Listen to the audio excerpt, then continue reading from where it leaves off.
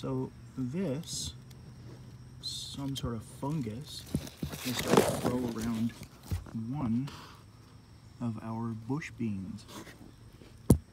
And you can see it's starting to turn yellow right from the bottom.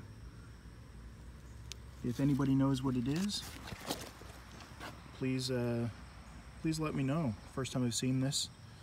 Um, yeah, just drop a comment below and let me know uh, what we can do to get rid of it if you've run into this before.